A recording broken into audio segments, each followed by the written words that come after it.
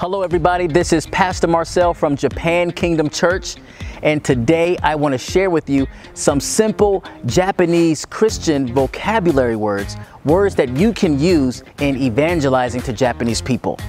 Because I know you have a passion for coming to Japan one day, learning Japanese language, and God wants you to understand the people you are getting ready to outreach. So these words, these vocabulary words, these phrases will help you do just that. Let's go. So our first word is God. Okay? In Japanese is kami-sama. Kami-sama. The next word is Jesus. In Japanese is iesu. So it's just like saying the word yes. So, yes. E, e, s. Yes. Yes. All right, the next word is love. Love in Japanese is I. It's just like saying I, you know? I. Okay, the next word is Jesus Christ. So, Iesu Kiristo.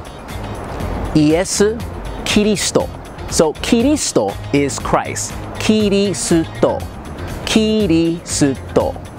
So Iesu Kiristo. So I'll say it slower. Iesu Kiristo. So together is Jesus Christ. Yesu Kiristo. Yes Kiristo.